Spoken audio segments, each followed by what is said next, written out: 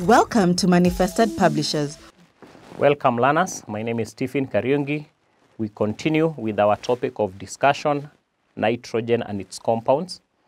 And uh, today, I would like us to look at the preparation of aqueous ammonia.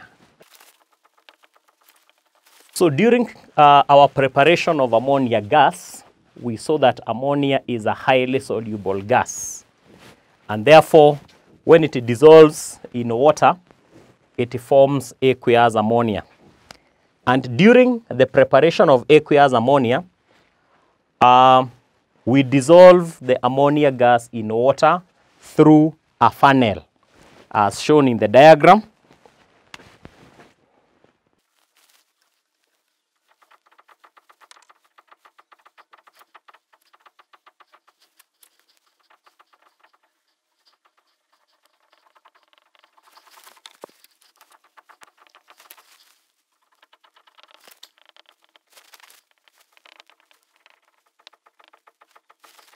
So we prepare ammonia gas by heating a mixture of ammonium chloride and calcium hydroxide.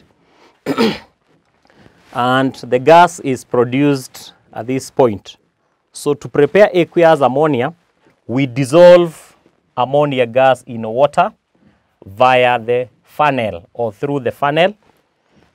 And this funnel provides a large surface area for the gas to dissolve in water. So remember, the gas is highly soluble in water.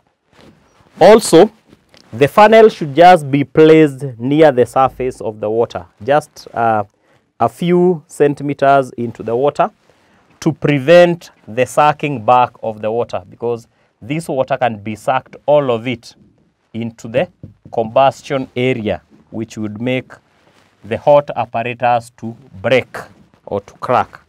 So this is how preparation of aqueous ammonia is done.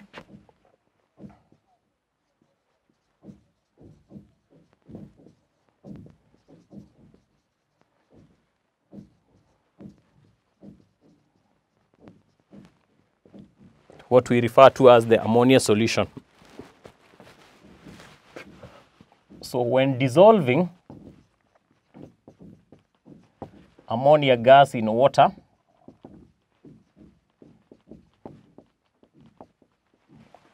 a funnel is used to provide a large surface area.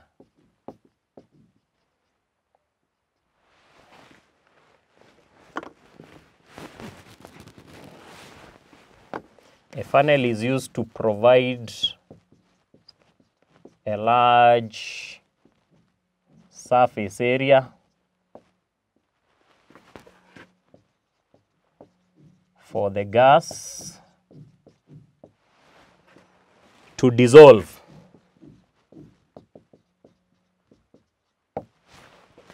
The funnel should be placed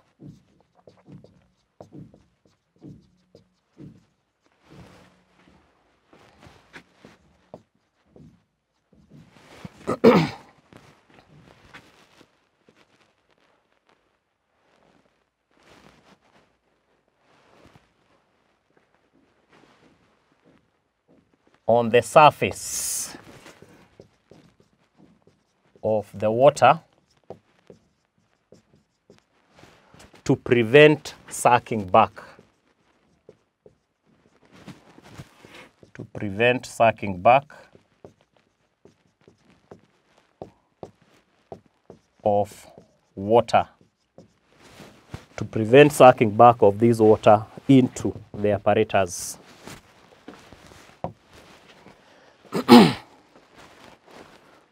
So we can also say that uh, the high solubility of the water can be demonstrated by use of what is called a fountain experiment. High solubility of ammonia gas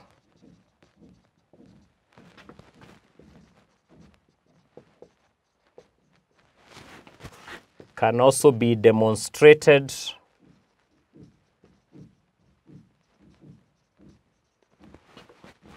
using the fountain experiment as shown below.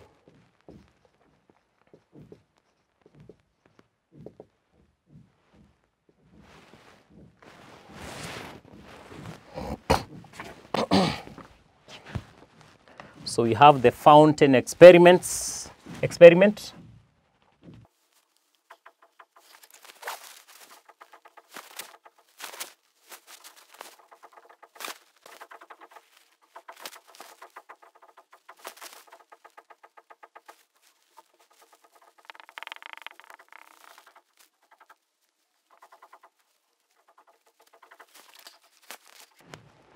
So in this experiment, uh, we put water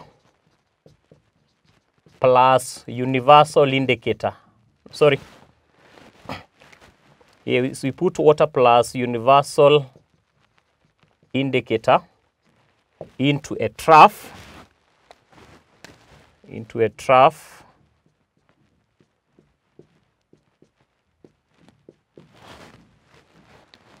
And then uh, using the clip, we have a clip here. We open the clip to allow the water and the universal indicator to enter into uh, this tube up to the jet area. So we have a jet here. We have a jet that allows small quantities of water. So up to the time the jet is full. And then Inside the flask, uh, we have ammonia gas. So what happens is, uh, when the jet is full, we should open the clip to release only one drop of water plus universal indicator into the flask. And once that drop of water gets into the flask, it dissolves all the ammonia gas that is in this flask. And that creates a vacuum. And that creates a vacuum. And because of the atmospheric pressure that, uh, that is acting on the water here, then there is the formation of a fountain as the water occupies the space that was initially occupied by the ammonia. So it forms a blue fountain. So a blue fountain is formed. We form a blue fountain and that is because when there is universal indicator and it combines with water and ammonia, which is now the ammonia solution, it turns the universal indicator blue. And that's what makes now the fountain to be blue. So this is what you are calling the fountain experiment. So you're saying that just a single drop of water plus universal indicator mixture dissolves all the ammonia gas inside here. And that creates a vacuum inside the flask. And that's what makes now the formation of the fountain. So this is the fountain experiment.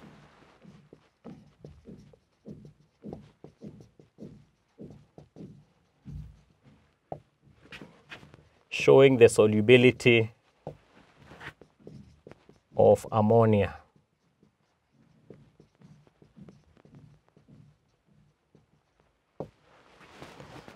Have the flask here.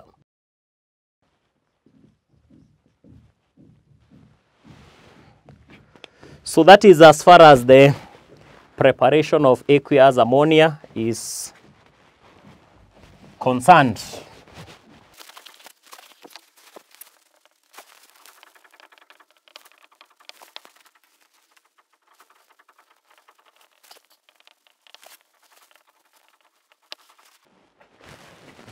So the two questions in the assignment describe the fountain experiment as we have done. Uh, two, explain why ammonia gas is dissolved in water through a funnel. So we'll stop there until next time. Goodbye.